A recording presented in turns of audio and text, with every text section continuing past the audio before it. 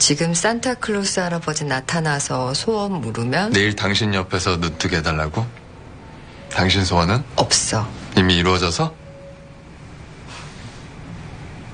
교만. 나한테 산타는 사피형. 나도 그랬으면 좋겠는데. 왜? 그냥 앞일은 아무도 모르니까 지아가 싫다고 하면